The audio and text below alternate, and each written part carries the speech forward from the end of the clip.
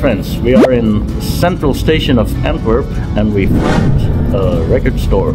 So we are going to go in and see if they have some Elvis of course.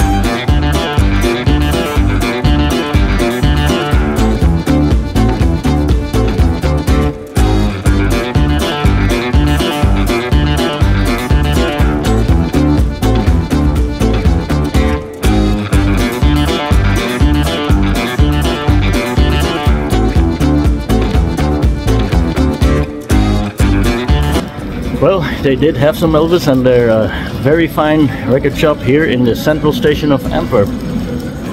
We're going to visit this again.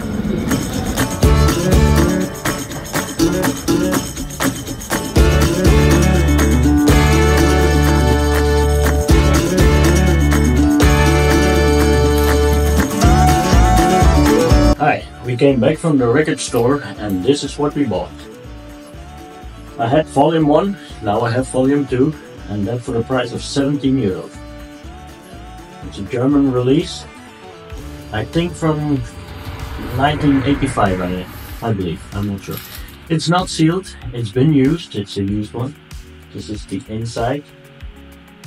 Some great Elvis pictures. And this is what the labels look like black label. And let's see if we can find the date on it.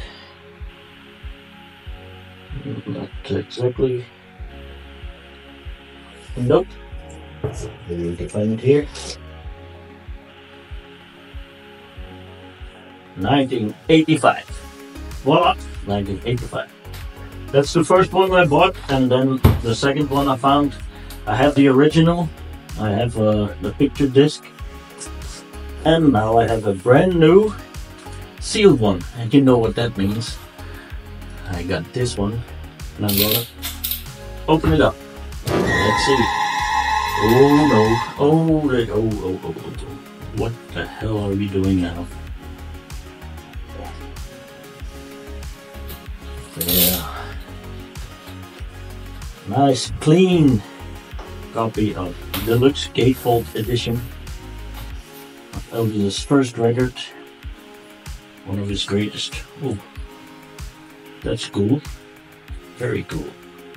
It's the back. It's like the original. See what the inside looks like. We can get it out.